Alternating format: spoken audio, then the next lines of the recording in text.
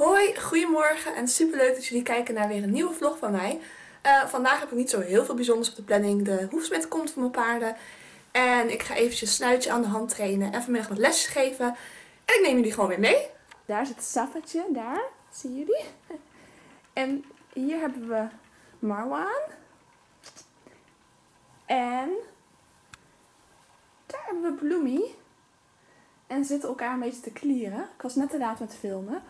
Maar uh, Safa is een beetje ondeugend. maar in ieder geval, in deze twee tassen zitten allemaal paardenspullen die ik uh, op marktplaats wil gaan zetten. Moet ik even een beetje zin voor maken. Maar uh, ja, als alles volgens planning loopt, ben ik vandaag om half drie thuis. Dus heb ik tijd zat om dat te gaan doen. En ja, dit is niet mijn nieuwste plant of zo, maar die pot was leeg. Dus ik heb hem even daarin gezet. Kijk, dit is weer wat nieuws. En zoals sommigen van jullie weten geef ik ook uh, obstakeltrainingen. Hij is nu niet helemaal goed opgeblazen, dus hij hangt een beetje scheef. Maar het is dus een cactus en ik heb er meerdere van besteld. Om uh, bijvoorbeeld omheen te slalommen en zo. Dat is ook leuk voor de working equitation. Hier aan de onderkant zit water. Dus dan valt hij zeg maar niet zomaar om. En dit is een slang. Die is nu nog niet opgeblazen, maar daar heb ik er ook een paar van besteld. Ook voor de ja, obstakeltrainingen. Ik dacht dat is leuk als we bijvoorbeeld een blauw zeil hebben. Dat lijkt dan op water en dat we daar een paar slangen in leggen. Oepsie. Dus die dingen ga ik zo meteen even uittesten bij mijn paarden. Even kijken wat ze ervan vinden. Je bent mijn vriendje. Dit is echt mijn beste poezenvriendje. Ik ga jullie wat schattigs laten zien. Marwan, draai eens even om. Kom eens even hier. Kijk, als Marwan jeuk heeft op zijn kontje, en ik ga hem zeg maar niet met mijn nagels, maar gewoon met mijn vingers. Ga ik hem hier krabbelen. Kijk. Oh, dat vindt hij zo lekker. Dat vindt hij zo lekker. Ik heb zeg maar deze vlies trui aan of een vest. Wat is er Bloemie? Wil je naar... Oh, wacht even hoor. Kleine onderbreking. Dag.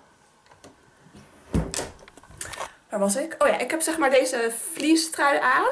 En uh, ik ben nu 27 en ik heb deze trui gekregen volgens mij toen ik 15 of net 16 was. Dus deze is al heel erg oud. En ik zal jullie even de achterkant laten zien. En ik kan me nog heel erg goed herinneren dat we deze trui kochten bij de Hipporama in Rotterdam tijdens het tentenkamp. En hij is van Happy Valley en ja, het is gewoon een soort van jeugdsentiment of zo als ik deze trui dan draag. Ik ga deze schoentjes aantrekken vandaag. Die zijn van BR. Ik heb ze al een paar jaar, maar ja, nog best wel weinig gebruikt. Omdat ik toch heel vaak op mijn joppers uh, loop. Maar ja, die heb ik nu dus weggegooid, zoals jullie mijn vorige vlog hebben kunnen zien. Er zijn wel nieuwe naar mij onderweg, maar nou ja, ik hoef vandaag toch niet te rijden, dus ik doe lekker deze aan. Alleen, het zijn veterschoenen en degene die mij inmiddels kennen weten dat ik gewoon van makkelijk en snel hou. En ik heb niet zoveel geduld om elke keer mijn veters te strikken.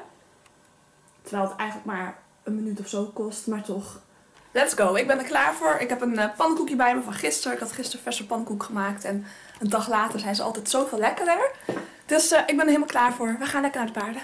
We gaan snuitje even ophalen in de wei. Ik heb het halstouwtje bij me. Kijk, mijn mooie kapotte halstouw. Waar ik geen afscheid van kan nemen. Maar ja, hè, als hij het nog doet, waarom zou ik hem dan weggooien? Ik heb trouwens wel een nieuw mooi halstouw. Maar ik ben dan weer zo iemand die het als zonde vindt om die te gebruiken voor de dagelijkse dingen. Dus inmiddels gebruik ik al ik weet niet hoe lang dit touw. In ieder geval, ik ga eventjes met snuitje aan de hand werken. Of nou ja, grond werken aan de enkele lijn. Ik heb gisteren weer les gehad en ehm, dat wilde ik eigenlijk gaan vloggen. Maar op het moment dat ik les had, kwam het er gewoon helemaal niet meer van.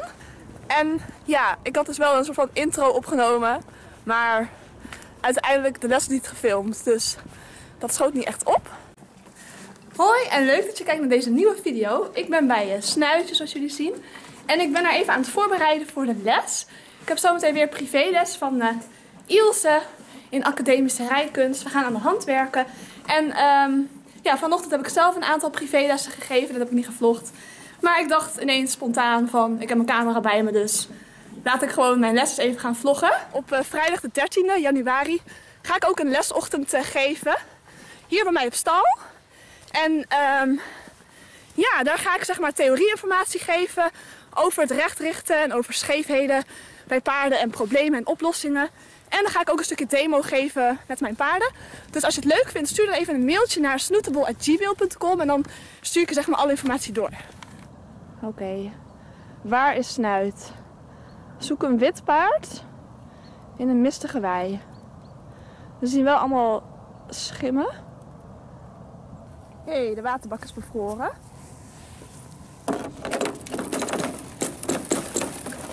Nou, dan moet ik eigenlijk even mijn handschoen uitdoen, want anders is straks mijn handschoentje nat en dan krijg ik helemaal koude handen. Zo. Kunnen de paardjes weer drinken? Kijk eens wie ik heb gevonden, snuitje. Helemaal achter in de wei.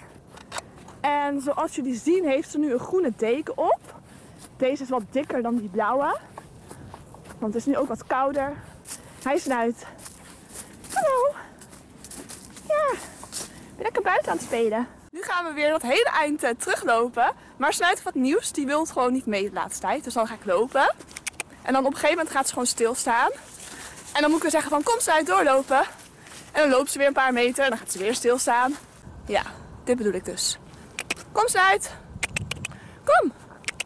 Snuitie, kom mee. Kom Snuitie, we moeten trainen. Kom op Snuit. Goed zo. Nee, kom nou schat, dan mag je straks terug naar de wei. Ik beloof het. Kom, misschien even een beetje sturen. Zo, dan gaat ze wel weer mee. Kijk, dit. Dit is echt niks voor mij. Ik moet gewoon van die clipjes hebben. Maar ik had deze deken nog, maar... Dat vind ik allemaal weer irritant werk. Maar Snuitjes blij dat ze een deken heeft, hè? Ja, daar gaat het om. Poetsen, we houden het weer lekker simpel. Gewoon de Magic Brush. Ik uh, ben trouwens niet gesponsord hoor, de Magic Brush. Maar ik vind het gewoon echt hele fijne borstels. Wat ik uh, nog niet met jullie had gedeeld is dat het de laatste tijd helemaal niet zo fijn ging met Snuitje. Ze begon heel erg af te vallen, echt in een maand tijd. Ja, begon je echt gewoon helemaal haar ribben te zien en zo. En ik maakte me best wel zorgen. Um, ja, ze heeft het hier gewoon super goed. Ze krijgt echt zo ontzettend veel ruwvoer. Ook echt van goede kwaliteit. Nou, jullie weten hoe ik met voeren ben. Ik probeer het altijd heel goed en precies op haar af te stemmen. Maar um, ja, ze begon toch af te vallen. Dus ik begon me echt zorgen te maken. En uh, toen was laatst de arts er. Onder andere ook uh, voor de verdoving toen de tandarts er kwam. En toen heb ik eens even naar haar laten kijken. En de arts gaf aan dat ze het gewoon te koud had. Snuis begint ouder te worden. Ze kan zich niet meer zo goed ja, warm houden. En um, ja, ik had er nu onder 200 grams. Kijk, grams zegt eigenlijk niet zo heel erg veel, want het gaat natuurlijk ook om het materiaal waar de deken van is gemaakt. Als je een 200 grams deken hebt gevuld met echte wol of een 200 grams deken gevuld met synthetische nepwol, dat is natuurlijk een hele andere warmte, zeg maar. Maar deze deken was ook al best wel oud. Ik had hem nu al drie of vier jaar in gebruik. Dus op een gegeven moment wordt de warmte ook minder. En schijnbaar had ze het gewoon te koud.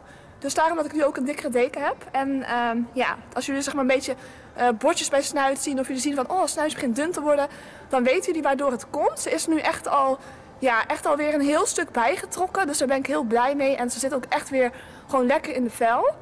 Oma Snuit uh, wordt nu lekker warm gehouden. Omdat uh, Snuitje en ik nu al best wel ver zijn met, het, uh, ja, met de academische dressuur, begin ik zeg maar nu te merken dat, dat zeg maar de simpele dingen, of ja simpel simpel, maar gewoon de, de begindingen zoals een volte, dat dat nou ineens heel erg moeilijk begint te worden. En dat klinkt heel gek, maar ze kan nu bijvoorbeeld uh, travers, schouder binnenwaarts en alles en nog wat. En nu begint ze zeg maar zo goed op mijn lichaam te reageren, dat als ik zeg maar maar een klein beetje travers aangeef met mijn lichaam, dat zij dan alweer te veel met haar heup naar binnen komt. Of andersom. Dus nou moet ik echt zeg maar zo van gaan uitlijnen. En dat ze dus echt helemaal goed in balans blijft. En ik begin dus te merken dat dat soort dingen heel erg moeilijk worden. Dus dat ga ik nu even oefenen. Ja, ik ga jullie zeg maar eerst een beetje het fouten laten zien. Dus ik ga haar op de volte zetten, ga ik er in travers vragen. En ik ga haar juist de achterhand laten uitzwaaien. En dan ga ik jullie proberen te laten zien dat zeg maar in het midden, daar moet dan zeg maar de goede balans uh, liggen. En ja, recht richten gaat eigenlijk voornamelijk over dat de achterhand in het spoor van die voorhand uh, loopt. En dat je het gewicht uh, naar de achterhand kan verplaatsen en van die voorhand afhaalt. En er zijn heel veel redenen waarom een paard niet van nature al in dat, in, die, in dat evenwicht, in die balans lopen. En dat kan natuurlijk uh, zijn door hun exterieur, paarden die op de voorhand gebouwd zijn of wat dan ook. Um, het kan ook komen door uh, hun natuurlijke scheefheden. Net als wij zijn paarden ook rechts- en linkshandig. En hebben ze gewoon een natuurlijke voorkeur voor de buiging. En uh, dat ze op de ene schouder meer gewicht dragen dan op de andere. En dat merk je dus gewoon in een volte. Want een paard is niet gemaakt om op een volte te lopen. Ehm, en dat moeten wij ze leren. En zo zijn heel veel redenen waarom een paard zeg maar, niet mooi eh, in balans op een volte zou kunnen lopen. Eh, soms ook gewoon trainingsfouten, dat het zeg maar, verkeerd is getraind, dat een paard helemaal vastgereden is. En dus gewoon helemaal niet meer zichzelf kan dragen en mooi op de volte kan lopen. Overcompensatie, nou, noem het allemaal op. Maar ehm, wij gaan eventjes eh, een stukje voltes lopen, Snuitie. Want ook al ben ik nu zeg maar wel wat verder in de oefeningen. We zijn echt met de galop bezig, met een stukje piaf, al dat soort dingen. Ehm, heel vaak train ik dus nog gewoon zo aan deze enkele lijn. Uh, en gewoon in stap en gewoon de basisdingen zoals de volte en een stukje schouder binnen en al dat soort dingen. Ja, want de basis blijft toch eh, het belangrijkste. En toch de sleutel. Nou, kom eens uit. Ik ga mijn best doen om een beetje in het uh, scherm te blijven. Oh, ik ben weer helemaal uit het scherm. Oh, dat is echt lastig. Even kijken hoe ik dit ga doen. Zo. Nu loopt ze dus zeg maar te veel traversachtig. Kijken of we het ook andersom kunnen laten zien. Nou, en nu loopt ze te veel met de achterhand weg. Dus dan uh, zet ze zich zeg maar te strak hier, terwijl ze juist moet buigen. Kijk, dus nu kunnen jullie zien dat ze best wel goed spoort. Nu ga ik er met ophoudingjes, kijken of ik het iets binnen achterbeen kan zetten. Precies, zo. En dan moet ze dus niet in één keer eruit spijken, maar dan moet ze hem er echt onder blijven zetten. Kijk, nu gaat ze weer iets naar travers. Ik wil dus zeg maar dat gewicht zoveel mogelijk over die vier voeten verdelen. Nou, ook een rechte lijn. Dan wil ik dat ze recht loopt. Dus ik ga eerst een beetje voorwaarts. Om haar een beetje recht te trekken. En dan ga ik die achterbenen ga ik een beetje vangen in mijn hand. Nu zie je dat ze binnen achterbeen eruit gooit. Dat zie je heel duidelijk. Dat mag niet. Je moet ze gaan dragen. Dat is beter. Dus dan ga ik eigenlijk de achterbenen een beetje opvangen in mijn hand. Dat voel ik met hele lichte pompjes op mijn hand. Hier zie ik, ik hoef de lijn met deze dicht te knijpen. Ja. Dan had ze één pasje goed en daarna gooit ze het achterbeen eruit. Dus dan gaan we weer eerst recht maken. En zo ben je zeg maar heel veel aan het puzzelen. En dan moet het hoofdje natuurlijk ook mooi recht voor de borst blijven. Dus moet niet afbreken. Dus niet die buiten schouder weggooien. Dan kan ik af en toe even corrigeren zo. En als het dan even goed doet, dan mag ze ook weer lang laag voorwaarts. Om vervolgens weer een beetje op te pakken. Nou, het snuitje wordt weer uh, nou. netjes uh, bijgeveild. Hoefjes bekapt. Snuit, dan kijk je weer tegenaan. Kijk, die is al klaar. En die moet nog. Snuitje weer terug in de wei. Hi paard, hallo. Nou, nu is Figo aan de beurt. En dan ga ik in de tussentijd even Strootje uit de modder halen. En daarna is Stro natuurlijk aan de beurt. Ik denk niet dat het gaat lukken om Strootje naar de smid te krijgen. Want um, hij wil niet komen en ik ben mijn regenlaars vergeten. Strootje staat dus uh, lekker daar. Bij de hooi uh, bedoeling. Achter zijn vriendin. En ik sta hier met deze stalschoentjes. En kijk, precies op dit stukje is de modder dus het meest erg. En ik kom daar dus niet bij. Als hij nou gewoon op het droge stond, maar hij staat dus bij het hooi. Nou, ik ga het echt opgeven. Ik heb echt gewoon alles geprobeerd om hem te lokken, maar hij komt gewoon niet. Ik ben nu best wel redelijk dichtbij, maar deze oversteek kan ik dus zeg maar net niet maken. Het is echt een oversteekje van 5 meter of zo. Strootje, kan ik je echt niet overtuigen? Kom nou jongen. Oh, en soms denk ik echt, hij komt bijna. En dan maakt hij aanstalten en dan bedenkt hij zich gewoon weer. Ja, Strootje, goed zo. Yes, yes, yes. Jee, ik heb Strootje gevangen. Het is trouwens niet zo dat die hele wei zo ontzettend modderig is hoor. Maar het is wel precies rondom dat, uh, ja, die hooiruif. En ja, daar staan ze gewoon heel graag lekker te eten. Kijk eens hoe mooi. Het is toch echt gewoon bijzonder. En ja, Strootje heeft dus echt kleibenen. Zo kan ik eigenlijk niet aankomen bij de smid, maar ja. Ik ga proberen om met wat stro de beentjes van Strootje even schoon te maken. Oh, het ziet er toch wel weer netjes uit, hè? Uit de modder getrokken. Ja, echt uit de modder getrokken. Maar het is geen uit de kluiten gewassen paard. Nee. Moet je gymnastieken? Ja, moet je gymnastieken. Nee, niet doen. Nou, het strootje is ook weer klaar hoor. Nu kan hij weer lekker terug naar de wei. Vanaf eh, vandaag mag er vuurwerk worden gekocht. En ik hoor dus al gelijk allemaal knallen. Ik vind het zo irritant. Ik heb zo'n hekel aan vuurwerk. Echt verschrikkelijk, weet je. Ik vind het gewoon zielig voor de dieren. Ik vind het geldverspilling. Ik ga even verder op mijn telefoon, want mijn eh, geheugenkaart is vol van mijn camera. Maar over dat vuurwerk, weet je. eh, als je het dan koopt en je doet eraan mee, omdat je het zo fantastisch leuk, geweldig vindt of zo. Doe het dan gewoon op de tijd waarop het is toegestaan. En niet, ik bedoel, waarom nu al? Ik bedoel, het is pas over, over een aantal dagen is het pas oud en nieuw. Waarom moet er nu al vuurwerk worden afgestoken? Voordat ik Strootje terug ga zetten in de wei, ga ik eerst even nog mijn eh, slangetje opblazen. Om even te kijken wat hij ervan vindt. En natuurlijk eh, de cactus die nu een beetje omgevallen is, eventjes eh, uittesten.